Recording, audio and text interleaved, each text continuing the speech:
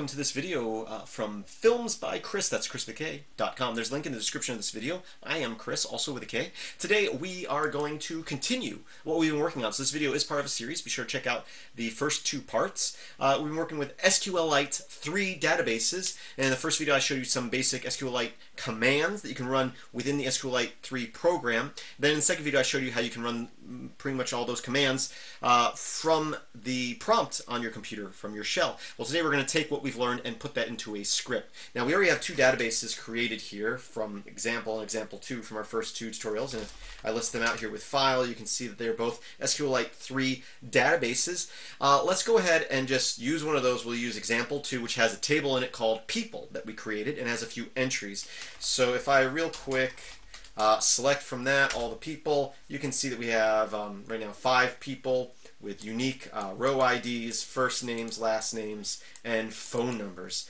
So let's go ahead and create a script that's going to allow people to uh, enter new information. Because obviously uh, you could type this out because you're a great programmer and know a lot about databases or at least a little bit. But you're going to have users, end users who are going to want to be able to enter people into this database and they don't know all these commands. You just want them, you want to ask them, what's the first name, what's the last name, what's the phone number, and you want to put it in there. So let's go ahead and do that. I'm going to use Vim as my text editor, but use whatever text editor you're comfortable with as long as it's not a Word document editor. Uh, we'll just call this enter people or enter, yeah, people, sure, .sh. Uh, and of course, I'm going to start off with my shebang line, saying that this is a bash script. And then we'll uh, create some variables. So our database name here, and I'm just going to give it uh, the local name, uh, the relative to where we are, but in real life, you'd probably want to give it the full path. Uh, and of course, our script is not going to create um, a database. You're going to already have that created. This is just for people to enter in, although you could create a script that creates it. You could also create a script that checks, see does it exist, if not create it, but we're not going that in depth. In depth.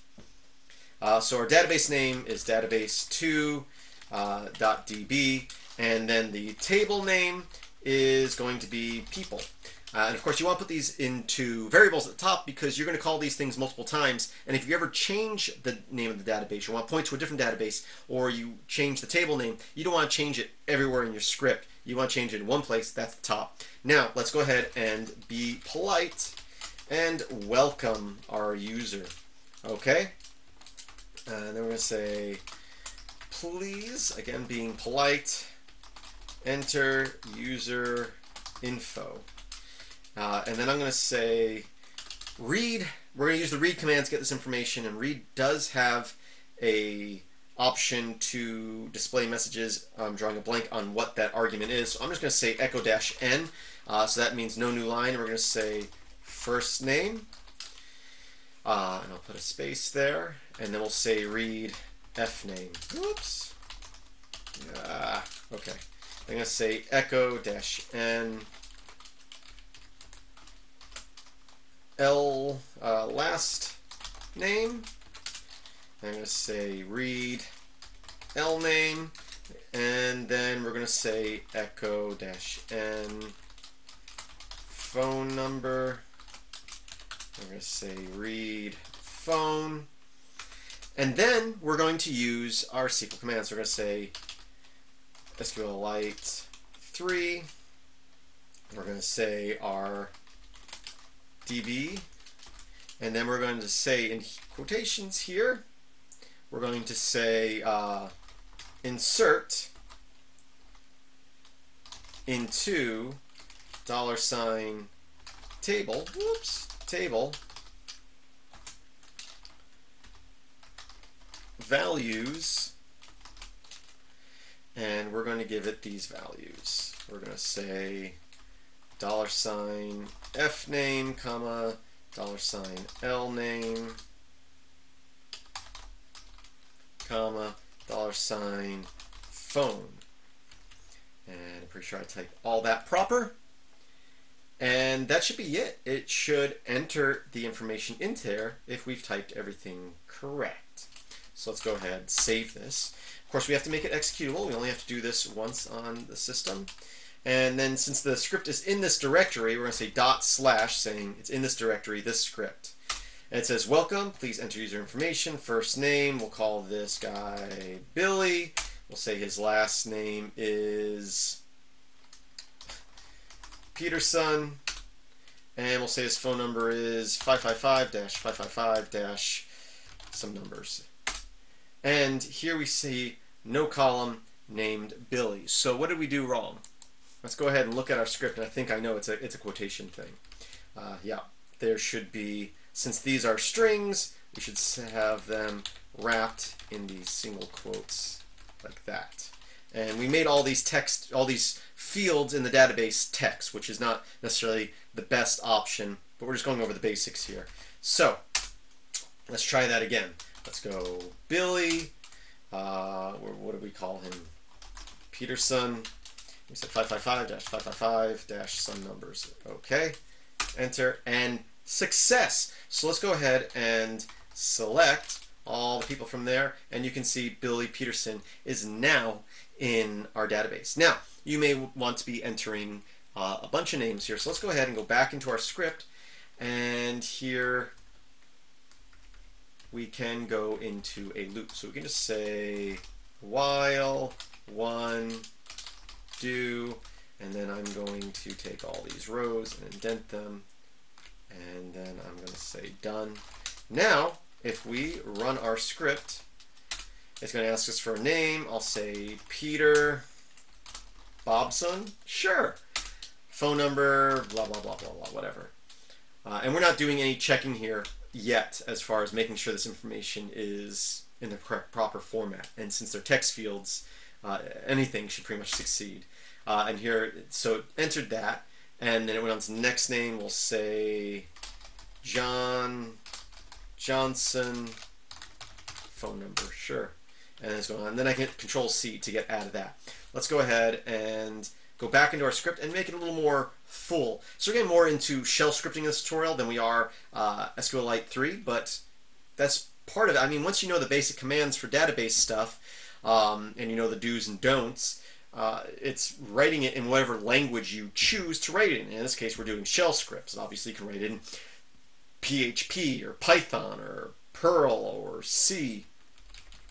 So let's go ahead and what we're going to do here is real quick, I'm going to put in a uh, these two pipe symbols, and I'm actually going to put into, we're going to say echo dollar sign f name entered and then I'm going to say over here echo error. Okay and I'm not going to do anything about that. But right now we should if we run that script again and I'll type in a name. I'm not even going to think of names right now. I'm just going to enter stuff. It says that person was now entered. Uh, and it moves on to the next name. Let's go ahead and go in our script and make it a little bit further along. We're going to say echo would you like to enter another user? Read. Uh, and let's go ahead and do it like this. We'll say capital Y and